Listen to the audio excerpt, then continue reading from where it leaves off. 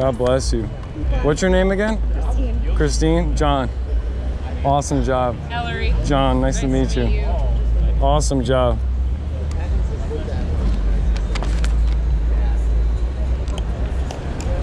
Jesus Christ gave us two commandments to follow. Love the Lord God with all your heart and love your neighbor as yourself. Don't put anything before God because the Bible says that's idolatry. Anything that you exalt, anything that you lift up, that you make more important than our Lord Jesus is idolatry. So today, make sure that you put Jesus first. Make sure that Jesus is more important than money. Make sure that Jesus is more important than material, materialistic things. Lift up the name of Jesus. Cry out to Jesus Christ and make him king of your life. God bless you, brother. The name of Jesus is above all names. The name of Jesus casts out demons. The name of Jesus can heal the sick, can give the blind sight, can make the paralyzed get up and walk. The name of Jesus is so powerful that it drives demons crazy. Through that mighty name of Jesus, we can find eternal salvation. Through that mighty name of Jesus, we can have eternal life in the kingdom of God. Today is the day to repent. Repent, repent. The kingdom of God is at hand. The kingdom of God is in our grasp. If we die in our sin, we will have eternity in hellfire. But if we cry out to Jesus and turn away from our sin, we can inherit the kingdom of God. That kingdom of God, that everlasting water where you will never thirst again. Jesus promises that you will have new bodies, new minds. He will replenish everything about you. The gift of Jesus Christ does not have a price on it. The gift of Jesus Christ cannot be bought. That gift is priceless. That gift of Jesus Christ is the only way to enter the kingdom of God, to make it to heaven. If you try to enter heaven any other way, the Bible calls you a thief and a robber. But today, today is the day to repent and cry out to Jesus Christ. Cry out to Jesus. Don't wait till tomorrow. Tomorrow's not promised. You can walk in the street and get hit by a car. You can get shot. You could even choke on a piece of food. But with that mighty name of Jesus in our life, when we repent and turn from sin, we know that we will inherit the kingdom of God. We know that we have Jesus on our side. Jesus Christ said, If you proclaim my name in public, if you speak up for me, I will speak up for you in front of the angels in heaven. But if you deny me, if you deny me in public, the Lord Jesus says he will deny you in front of the angels in heaven on Judgment Day. Without Jesus, we will not inherit the kingdom of God.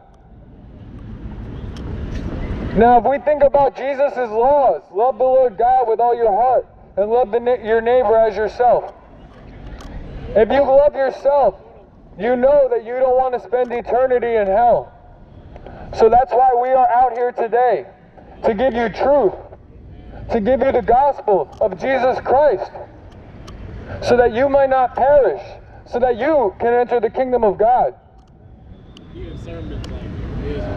So if we accept Jesus in our life and turn from a life of sin, you can enter the kingdom of God. You can inherit the kingdom of God. Being a good person does not get you to heaven. Muhammad, he can't get you to heaven. Your pastor cannot get you to heaven. The Pope can't get you to heaven. Buddha can't get you to heaven. Only Jesus Christ can get you into heaven. Jesus Christ is like a lawyer. If you go to court without a lawyer and you got caught red handed, without a lawyer, you're convicted, you're guilty. But Jesus Christ is the mediator. Jesus Christ is the one who's going to stand up for you on Judgment Day. Don't deny Jesus Christ. Don't live in sin. Because the Bible says if we live in sin, then we are living for the devil. The devil came to steal, kill, and destroy. The devil is the king of lies. But Jesus is the Prince of Peace. Jesus is truth. If you open that Bible and you look into it, you'll find prophecy after prophecy after prophecy. I have a book at my house filled with prophecies. And you know what prophecies are? They're predictions. There's no other book in this whole world that is filled with hundreds and hundreds and hundreds of predictions that all came true. There's no excuse these time and days. There's no excuses. Everybody's heard the name of Jesus. All you need to do is pick up that Bible and do your research. We have free Bibles here. We have water. We have clothes if you don't have clothes. We have information about Jesus. Today is the day for salvation. Come receive prayer. You can accept Jesus into your life today. He'll wash away your sins. Jesus died on that cross willingly. He knew what he had to do. The Bible says before Jesus took that cross, he was in prayer and he was sweating blood. Jesus Christ was whipped so bad. The Romans, they took stones and little pieces of metal and bone and they put them on the end of their whips. So when they whipped Jesus Christ, those pieces of metal and bone got stuck in his skin and ripped out his flesh. His beard was ripped from his face. A lot of us, we see the movies of Jesus on the cross. He had an underwear cloak. But the truth is, Jesus was hung on that cross naked. He was beaten so bad, he was unrecognizable. But Jesus Christ knew that he had to die for our sins. No one else died for your sins. No one else died for you except for Jesus Christ. If you deny Jesus Christ, you deny eternal life in heaven. Don't deny the Creator. Don't deny the Son of God. He loves you. He loves you so much that He died on that cross and rose in three days for your sins, for my sins. The Bible says, not one, not one is good enough to enter heaven on their own. Not one is without sin. We're all guilty. But the difference is are you going to accept Jesus Christ in your life? Are you going to receive that gift of eternal salvation in the kingdom of God? The Bible says, For God so loved the world, he sent his one and only begotten Son, that whoever believes in him will not perish, but have everlasting life. Now, that word believe is an action word. It doesn't just mean believe that Jesus is Lord, because the devil believes that Jesus is Lord. But that action word, believe. Jesus said, If you love me, you will follow my commandments. So the question isn't, do you, does Jesus love you? The question is, do you love Jesus? Jesus said, If you love me, you will keep my commandments. Now, those two laws that Jesus gave us love the Lord God with all your heart and love your neighbor as yourself. Those two laws cover all the Ten Commandments. Those two laws cover everything that the Bible says that we shouldn't do. You shall not steal. Well, if you love your neighbor, you wouldn't be stealing. You shall not covet. Don't be envious of what your neighbor has. That's not love. You shall not murder. But Jesus says, if you have hate in your heart, you're a murderer.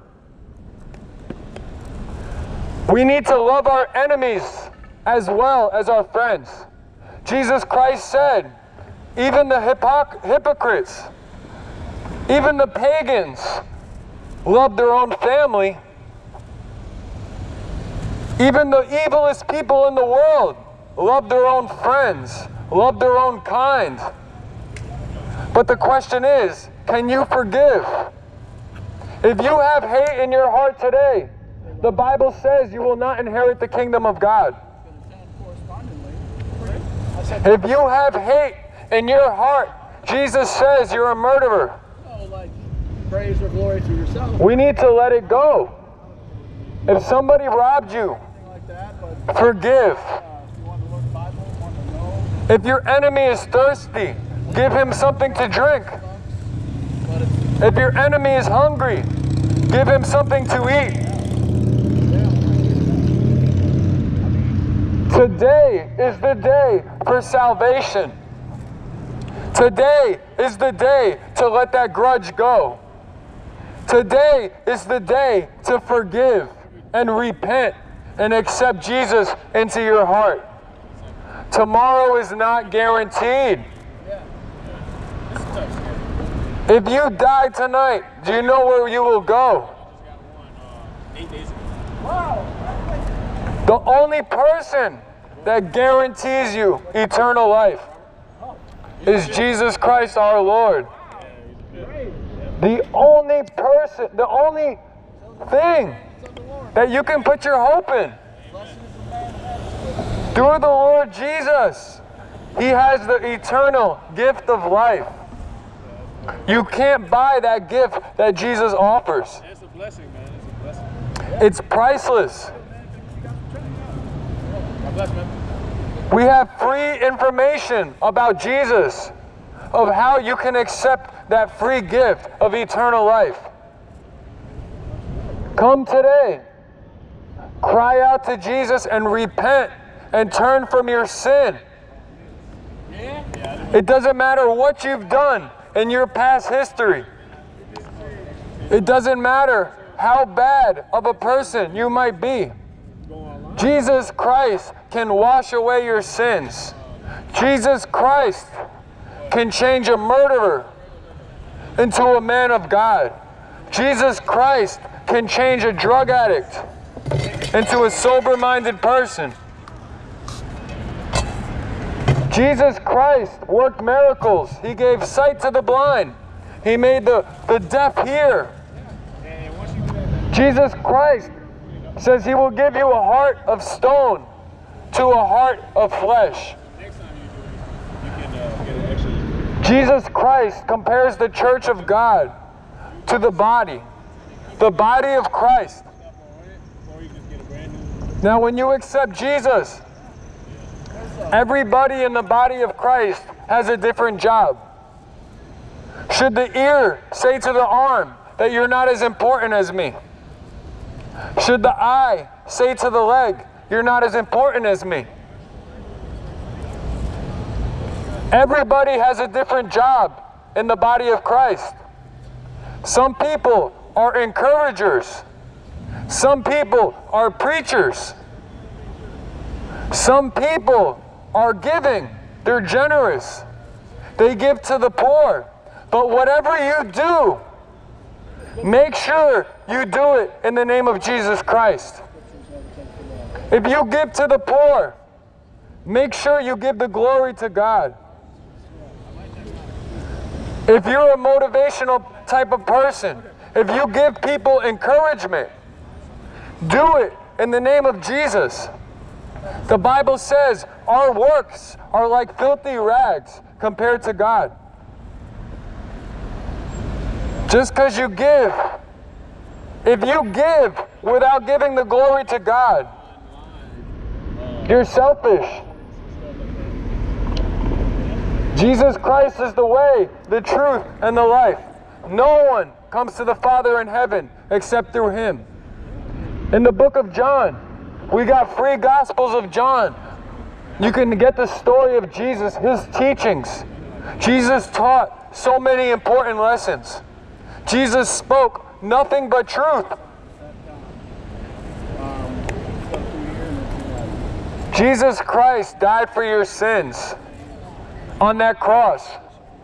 And he rose in three days. He kept his promise. Jesus Christ loves you. But the question is do you love Jesus back? Because Jesus said, If you love me, you will keep my commandments. Without Jesus, we are lost. Without Jesus, we are hopeless. Jesus is the only way to enter heaven. Repent, repent. The kingdom of God is at hand. The kingdom of God, heaven, is in our grasp. And through Jesus, we can have heaven. Through Jesus, we can have eternal life. But if you deny Jesus, the Bible says you will be cast into hell. And the only reason why I bring this up is because I care about you. The Lord commands it. We don't want to see anybody perish. Jesus does not want to see one person go into hell. But Jesus Christ does not send anybody to hell. We send ourselves by denying the gospel. The gospel means the good news. And the good news is Jesus Christ died for your sins. That's the best news that you'll ever hear. A lot of people, we like materialistic things. We like nice cars. We like nice houses. We want to have a good life. But what about life after death? Don't you think that's more important than this life on earth? Life after death. Because that life after this after this life is forever. God is outside of time, space, and matter. Because God created time, space, and matter. I'll give you an example. In Genesis 1 1, it says, In the beginning, that's time. God created the heavens, space, and the earth, matter. There you go time, space, and matter. Now, God created time, space, and matter. Jesus Christ is the Word of God. So God spoke. He said, Let there be light. If Jesus is the Word of God, so Jesus took part in creation. The Bible says in John 1 1, in the beginning was the Word, Jesus Christ. The Word was with God, and the Word was God. In John 1.14, it says, And the Word became flesh and dwelt among us. In Genesis, it says the Spirit of God was hovering over the waters. So we got God the Father who created. We got the Holy Spirit who created. He was hovering over the waters. And we have the Word of God who created. The Father, the Son, and the Holy Spirit are one.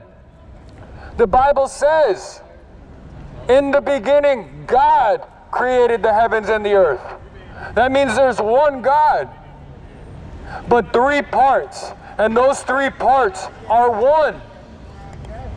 Some people, they can't get that, they can't comprehend that. But let me give you an example. Us as humans, God created us with a mind, a body, and a soul. So if we have a mind, body, and soul, that's three parts. But we're one person. That's exactly how God is the Father, the Son, and the Holy Spirit. Three parts, but one God. Those three together make God Almighty. God loves to use three parts. Take us, for example, that's the best example our mind, body, and spirit.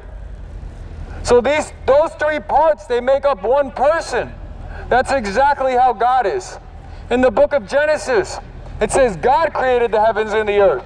But then it also says, "Let us make man in our image, to our likeness." So if Genesis says there's one God, but it says, "Let us make man in our image," that's showing you the three parts of God. The Bible clearly says, clearly shows us how God works. Three parts the Father, the Son, and the Holy Spirit. And through Jesus Christ, that name, we can be saved.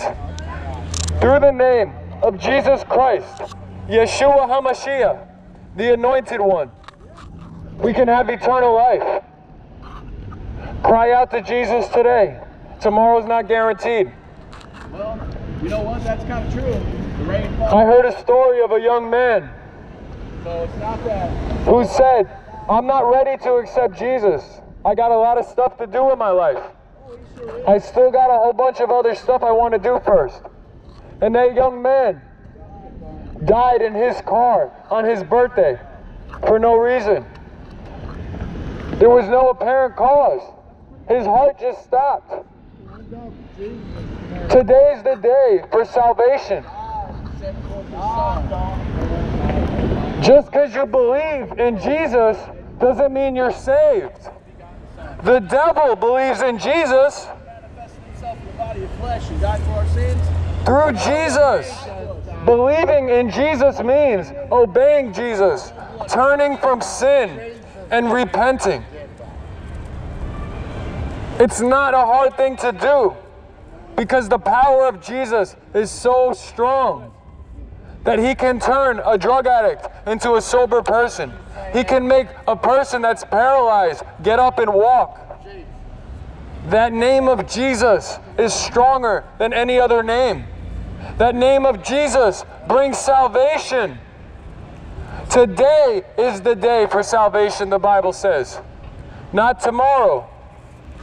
The 10 o'clock sinner, the 10 o'clock repenter dies at 9.30. The 8 o'clock repenter dies at 7.30. Need to repent. But the gospel means the good news. The good news is through Jesus, we can live forever. We can have eternal life. We can enter God's kingdom. And when you die and you take your next breath, where will you take your next breath after you die? Will it be in heaven or will it be in hellfire? The good news is Jesus died on that cross and rose in three days to wash away our sins. Not one of us has no sin. Not one of us is righteous enough to enter the kingdom of God without Jesus Christ, our Lord and Savior. Not one. The Bible says, not one. Is there anyone worthy? No. Jesus Christ is the only spotless lamb that walked this earth. Jesus Christ is the only one who was without sin. We need to follow his example. Jesus Christ gave us the perfect role model, the perfect example of who we should be. Of, of, thank you. God bless you. Um, not, not, not on me. I got it at Lids. You could go to Lids in the mall. Yeah. Jesus Christ is the perfect role model. A lot of us, we look at these guys on TV as role models. These kids, they're looking up to these rappers. These kids, they're looking up to these movie stars. But the truth is, the perfect role model, the only person that was perfect is Jesus Christ. Let's look up to Jesus Christ, literally and figuratively. Look up to Jesus Christ in the heavens and cry out to Him and pray and repent and turn from sin. And look up to Jesus Christ as your role model, someone that you can follow. If you follow in the steps of Jesus Christ, you will not go wrong. Jesus always said, I tell the truth. He always spoke truth.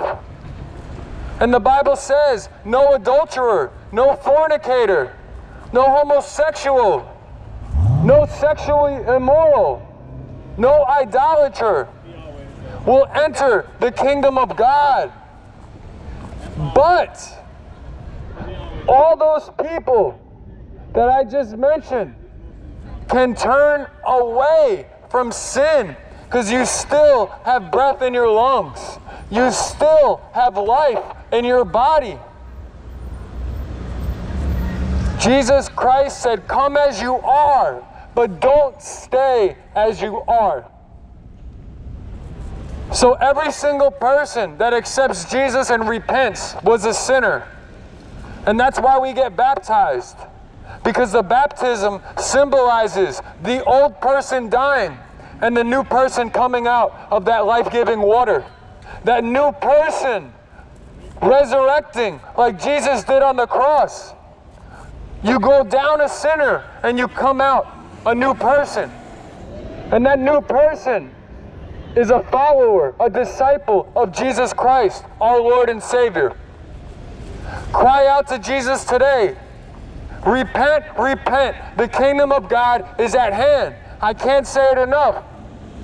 John the Baptist was crying out in the wilderness to all sinners, repent, because he knew, he knew that this life on earth is short. This life on earth, the Bible says, what is our life? Our life is but a vapor. It comes, it goes, and then we meet God. Our life is like a vapor. It comes and goes, and we meet God. What is eternity compared to 20 years? What is eternity compared to 50 years? Even if you live till 100 years old, the Bible says one day of God's time is like a thousand years in our time. God is not affected by time, space, or matter. So there is no time in eternity. So when you die, it's more important to know where you're going to go than anything on this world. It's more important than your house. It's more important than your family, than your car, than anything that you have. Because when you die, whatever you are destined for, whatever you do when you die, whether you accepted Christ or denied Him. But the Bible says every knee will bow and every tongue will confess, whether in heaven or hell, that Jesus Christ is Lord. You can't run from God. You can't run from that name of Jesus Christ. You cannot hide from God. You can try to avoid this subject. You can try to avoid the topic of Jesus Christ. But the Bible says one day, every knee, not some knees, every knee will bow and every tongue will confess that Jesus Christ is Lord. Even Satan himself, the devil, is going to have to bow down to Jesus Christ. Satan is the master of lying. The Bible says he came to steal, kill, and destroy. Don't give in to Satan's lies. Turn from your sin and accept Jesus in your life and repent. It's the smartest decision you'll ever make. The Bible says mockers and scoffers will have their place in the lake of fire.